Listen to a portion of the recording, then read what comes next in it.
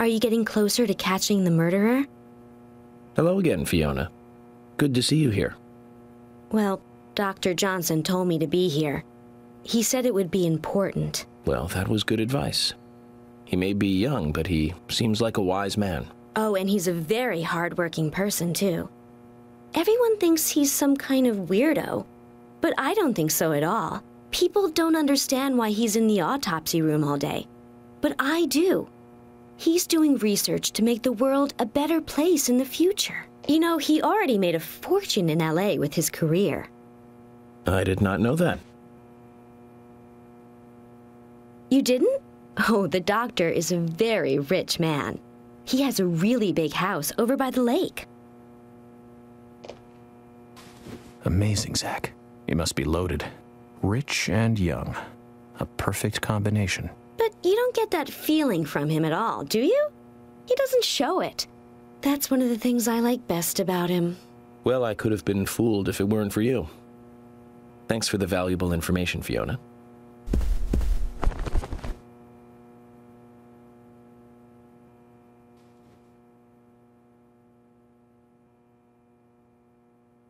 Rich and young, a perfect combination, huh? Well, let's help York get some. Agent York, you make any progress? Of course, plenty. And tell me, Usha, when is Anna's funeral? Mm, that's still undecided. Sally isn't really in any condition to do it right now. Her mother? I don't see her here. Anna was her sole reason for living after her husband was deceased. Well, she's probably huddled up at home. And I should probably take some time to pay her a visit. Well, yes, you should. And I'd appreciate it if you could, too. Um, but don't go too hard on her, okay? I I just I just devolved her into uh, her dancing in circles with the the dress of her dead daughter. Uh, that's probably healthy. It's probably fine. Hey, Polly made her all the way out here. Speaking of probably healthy, oh, you got to get that back checked out. Mr. Morgan, you're quite an impressive public speaker. Really? Thank you, Polly. You reminded me a little of a play I saw when I was younger. What kind of play? I'm talking about back when this place was still called the Mercury Theater. When I was young, I used to come here often with my husband. God rest his soul. We'd come on the weekend to see the latest play. He'd always pretend to be uninterested, but I could tell he was excited inside. He was just one of those kind of guys, really, thinking about it now. Really, Polly? So, what's your favorite play? Oh, well, I like so many. There was one in particular, but can't recall the name anymore. Oh, it was a very famous one, too. Something by Shakespeare? Oh, um. No, nothing. One more bell that doesn't ring anymore. I've always been forgetful about the plays we used to see anyway.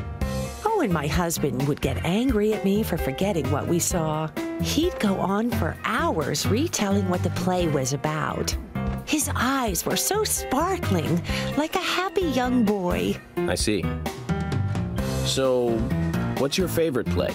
Oh, I almost forgot, Mr. Morgan. We're going to have another guest soon.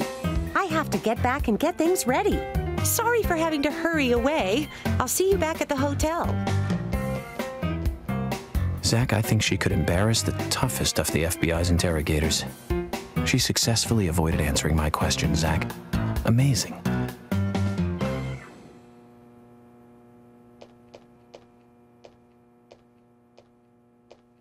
I get a kick out of the fact that he's still yelling at her from across the room. Like even when they're next to each other, he, he's just taken he's just taken to yelling at her when they communicate because that's how they communicate now. I have double checked, and uh, Deadly Permission was created by Access Games, which is a Japanese developer. Uh, this is actually relatively earlier in their career. They did Spy Fiction, Ace Combat, Sengoku Basara, Battle Heroes, and then Deadly Premonition in 2010. Then they went on to make more Ace Combat and Sengoku Basara games, and eventually the director's cut in 2013. What? Devil May Cry 4 Special Edition in 2015 was them? But they mostly make a lot of they make a lot of uh, Ace Combat and Sengoku Basara games over and over again. That's just what their their timeline's been. No luck on.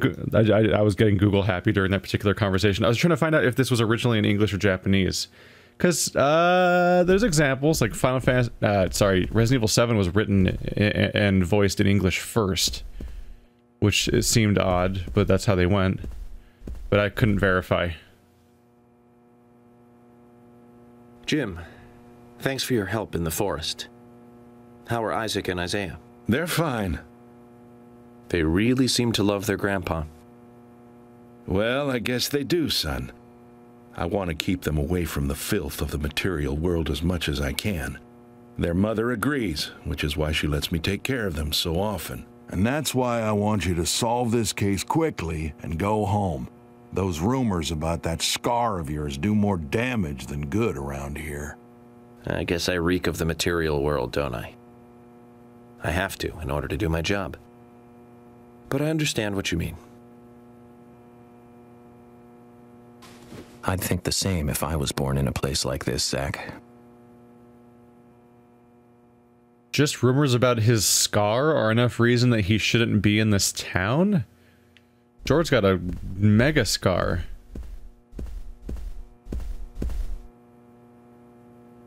Hello again, Agent York. How are you? Good, thanks. And you? Oh, I'm feeling pretty good today. Well, that's good to hear. Do you have any information that could help me out? Information? Sounds difficult and not my kind of conversation. Anyways, you should come by the gas stand again. I'll give you the best service in town. Zack, perhaps you can tell me. Why did she bother coming here? She doesn't even button her pants. Hey, Jim. Is this the material world? is she a material girl? I've nothing to say to you. I haven't asked you anything yet, Jack. Shut it! I might open up if you introduce me to, I don't know, a Ben Franklin or two. oh, what a creature. Guess there's always someone like him in every town. He's just seen that one movie, that one scene in some movies where some guy on the street gets bribed by an officer, and he's just every time I talk to him, he's just fishing for that to happen. Are you okay? What are you holding? Wait, oh, she has one shoe. Um, do you need help? Are you supposed to be under supervision? Uh, are you doing the potty dance? What is this?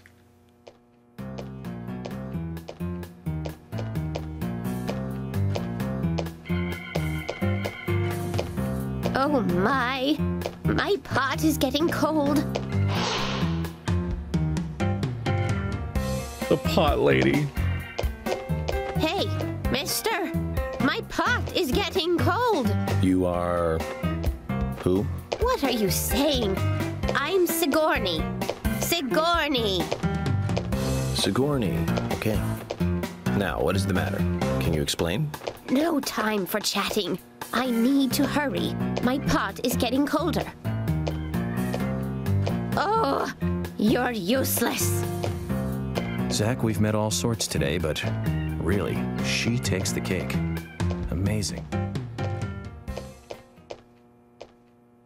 I mean, she's up there. Graveyard Guy is still pretty pretty strong contender, I would say. Oh, it's Keith and Lily. There you guys are. Hey, York! You were rocking it large up there! Was I?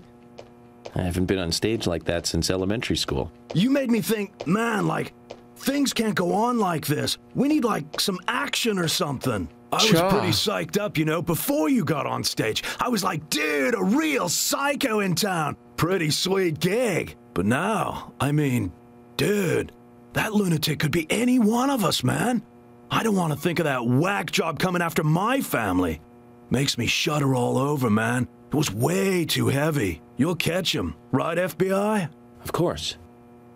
But you need to be able to take care of those you love, too. You're right, man. Right on the level. I need to do what's right for my family, man. You lit my soul, man. Thanks, FBI. I think Keith currently accounts for like 50% of the world's uses of the phrase in history of thanks, FBI. Hey, Lily.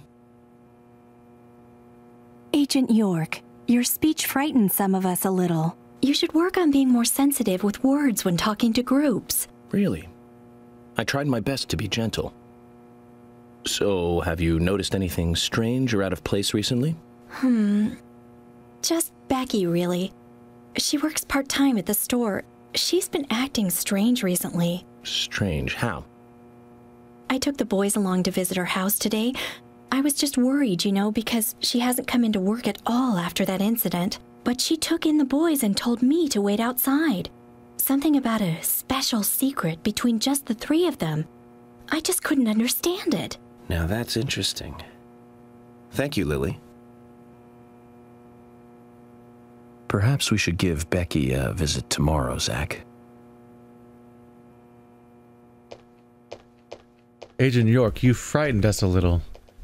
Yeah, I was talking about a killer and warning you guys to stay away so that you don't get killed. I guess I should have done this sooner. Uh, I don't know. I was I was just I was realizing, oh shit. I, I, I, was playing through the game and waiting for the side quest to open up, and then realized in a panic they'd already opened up and had been open for several ch several chapters already, and I was already six chapters into the game. I'm like, oh no! Uh, so I kind of panicked and tried to get them done, but uh, this whole thing is uh, is actually a lot of people telling me to go do side quests. So if I did literally just done the next story beat, I would have it would have been the story the the order of events for me would have made a little more sense. Aha, I can meet you here.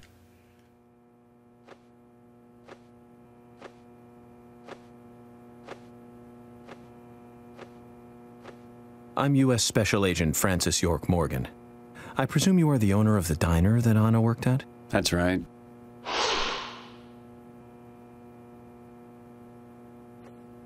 I'd like to ask you a few questions about Anna Graham. Did you notice anything strange about her prior to the incident?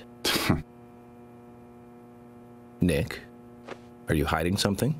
No, nothing. You sure? I'm sorry, but I don't like repeating myself.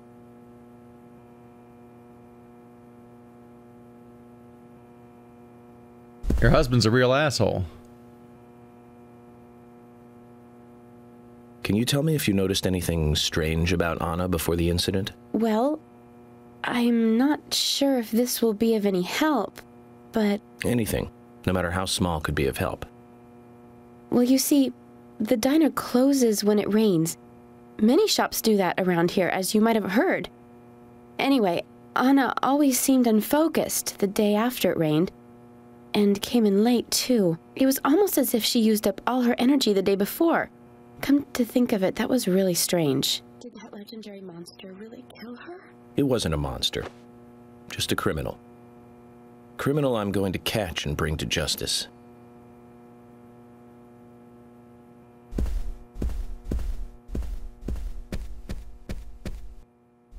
Why can't I change my guns out here?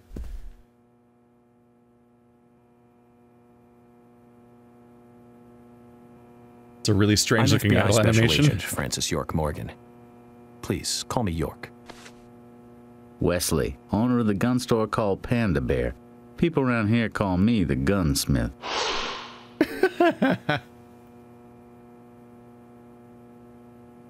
Was there something you want to ask me? How do you make a living running a gun store in a place like this?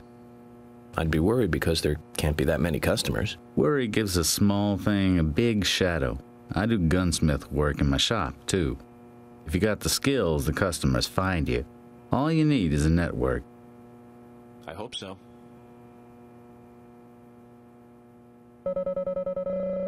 Here's what I've got. like a tutorial moment or what?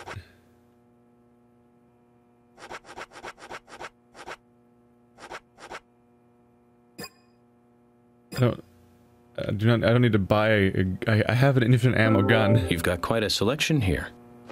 No wonder people come from all around. He Even sells today, lollipops. a customer paid me to go to Seattle for some help. I just got back. I see. Well, I'll be sure to visit your store sometime. I'd like for you to take a look at my gun. Understood. Look forward to it. the shop will be open again tomorrow. It's usually open from 2000 to 0600. See you then. Uh, Okay, the homoeroticism's on purpose, right? Agent Morgan, I'd like to let everyone go home now. Let's go outside. It, it has to be on purpose. You can't do that on accident.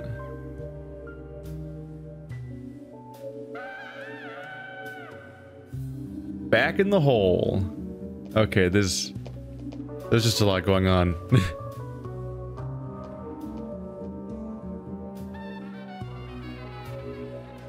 He's still snapping. He's just the MVP of this game, apparently.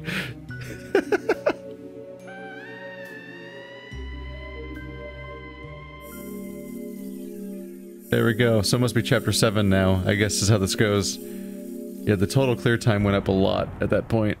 I so the guy has like snakeskin pants. He has an idle. Everyone always has an idle animation where they're kind of wobbling, which is always weird looking. But he's like leaning on a wall, so he was doing like weird pelvic thrusts on the wall because they want to have him not stand completely still. But it just looks absurd. He then he has a the one earring, and he calls him he calls himself the gunsmith, and he works at Panda Bear. And you look at his gun suit, and he sells lollipops. And then fucking York's like, "I'd like to have you look at my gun sometime." I'm like, what are these lines? they have to at least kind of know. Because uh this game does consistently show some signs of self-awareness along the way. Like they have to they have to know what they're doing here. This is bizarre. Now we're gonna go have dinner. Hooray! Is the gunsmith coming with his lollipops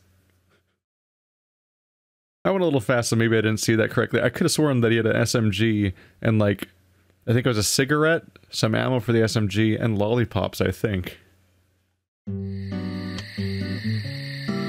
Well then, Agent York, do you have any plans for this evening? I was going to head back to the hotel and go over my notes. I need to contact HQ and give a progress report too. Okay, and let's call it a day here. Sounds good. Contact my office when you finish your report. We'll pick you up tomorrow morning. Diane, the owner of the art gallery, should be back soon. All right then, let's do that. Uh, hold on, Agent York. We're going out to eat at Nick's Diner. Would you like to come with us? The diner. That might be nice. Thomas is a great cook, but Nick is the real deal. No visit to Greenvale is complete without eating at the A&G. A very appealing proposition. Zach, what do you think? We can always go back to the hotel after eating dinner, or go directly back to the hotel. You decide, Zach. Mm-hmm. Of course, we should eat at the diner. It's the location that the murder victim worked at.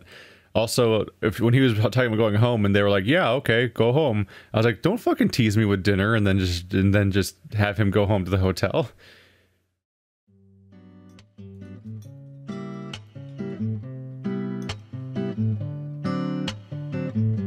I've been sheriff here for a long time now, and this is the worst murder I've ever seen. Our town is a little odd in some ways, but it's usually a peaceful place. We had our fair share of cases, but just the regular stuff. A high school kid shoplifting from the milk barn, maybe. Or some hot headed kids fighting, fueled on liquor. Nothing more than that. Agent York, what kind of cases have you dealt with in the past? Not much different from those you've just mentioned. The case I was on until last month, well, the guy killed seven girls in a three month period. He sawed their heads off from the neck and took them back to his house. He cleaned the skulls up and used them as utensils in his daily life to eat from or as a urine cup. Huh. He hated women, That was his way of dealing with it. He'd fill skulls with ice, cola, and rum, then he'd down it in one gulp. For him, that was a holy ritual. The question of his mental state was the pivotal point in the court case. Oh, man. For me, he was insane. A hundred percent. Drinking from the skulls, well, that is one thing, but. But those he had used to relieve himself, he would then just use them to drink from, too. Yeah, that was too much for me. It's just not sanitary. not sanitary.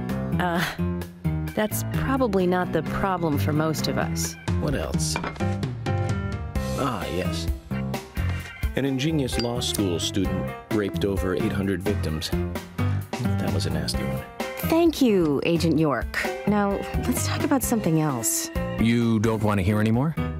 That's a shame, isn't it, Zach? I was just about to get to the good part, too. Sounds like you live in a totally different world. I mean, you're like an elite agent who just jumped out from a movie or something. In your eyes, we must look like we're just playing cops and robbers. Ugh, I give up. I can't compete with you. Don't say that, Emily. The cases you have solved are all full fledged crimes. A crime is a crime. Size doesn't matter. There is no big and small. Crimes always have a criminal and a victim. No victim will ever welcome a crime, no matter what its size. So, fundamentally, there is no difference in size. Well said, Agent Morgan. We work day and night to preserve peace and order in this town. You understand that, right? Course. But still, I don't view shoplifting and Anna's murder as the same level of crime. Me neither. I never even dreamt that such a thing could ever even happen in this town. I keep on expecting to see Anna here in this diner, waiting on tables.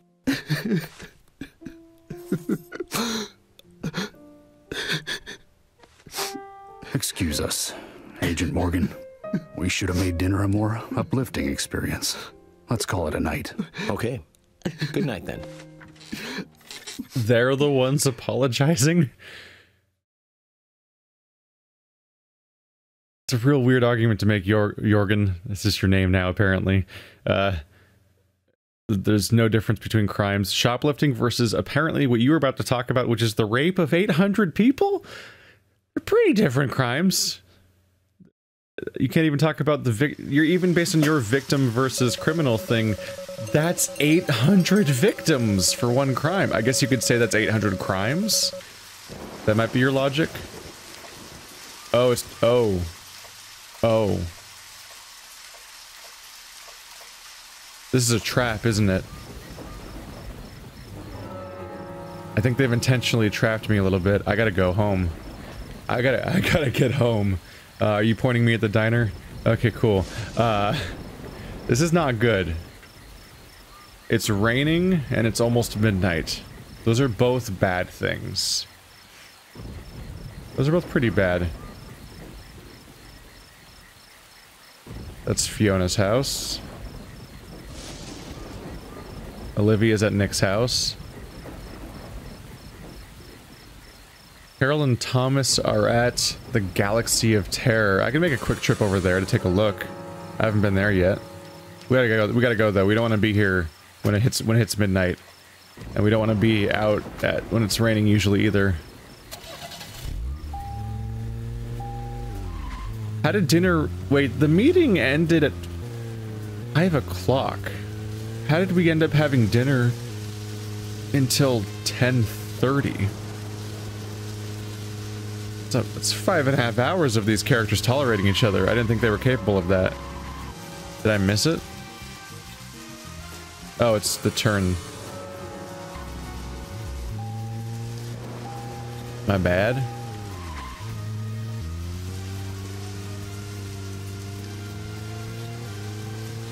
Gotta turn those headlights on.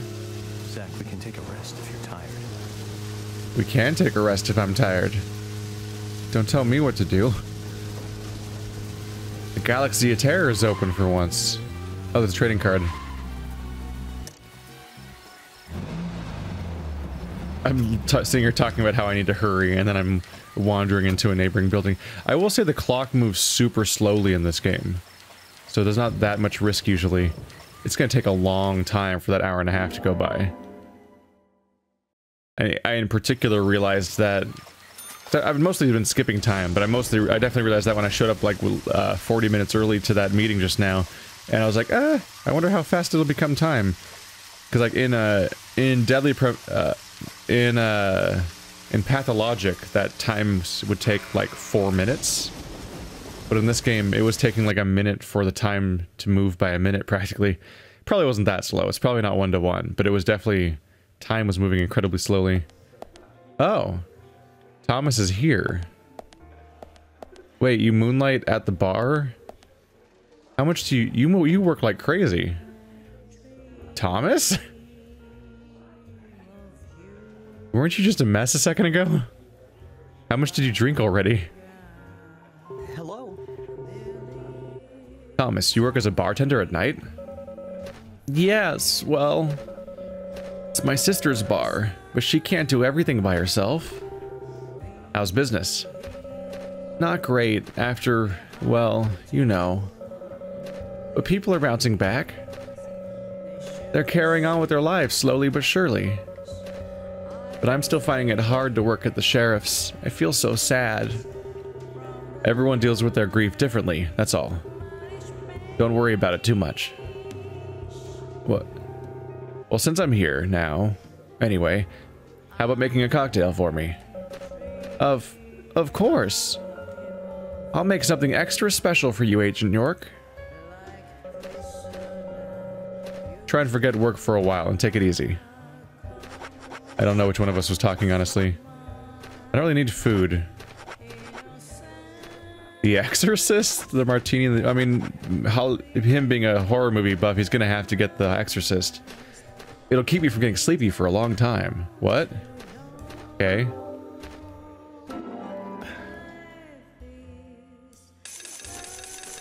Wow. Yeah. That really gets rid of your sleep meter. Not really relevant because I'm going to go sleep to skip through the night, but sure. Hello. Would you like something to drink? No! No, it did that thing where the joystick snaps back.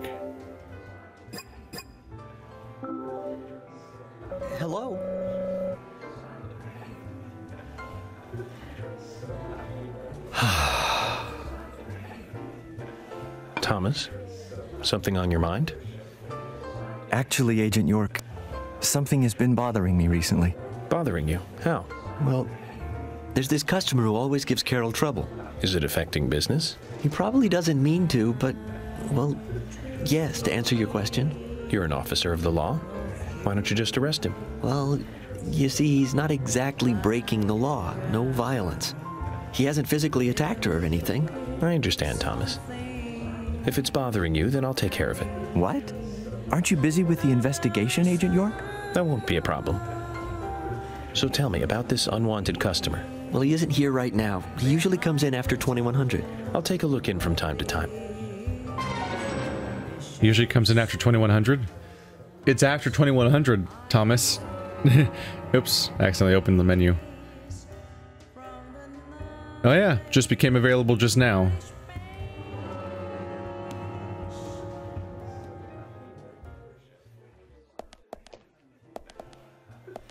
Which one of you is it? Hey, Carol. Carol, where did you learn to act? Act? What are you talking about? There's no need to hide it. That expression and that thing you do with your eyes. You're an actress, right? What are you on? You took too much of it anyway. Cut that crap out. Zach, I was only expressing my opinion. She reminds me of that show we saw in Chicago.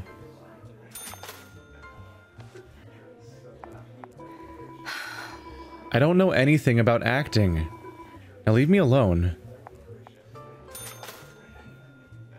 Oh. Yeah, the trick apparently is that if it's, if talk is yellow, there's dialogue, and if there's and if it's white, then there's not. So it was still yellow, but it was just the follow-up line about the previous encounter. Where's the pain in the ass guy that shows up after 2100? Maybe I have to come back like tomorrow or something? Hello?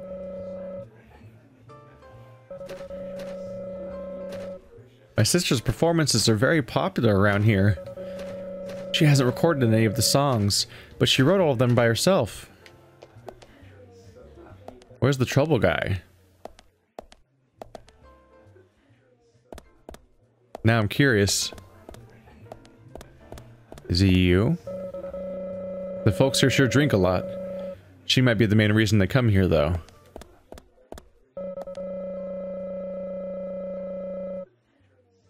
No. Maybe I have to come back tomorrow. Or maybe after maybe after 2100 is a briefer period than I'm thinking and it's already over. Could be. Let's save.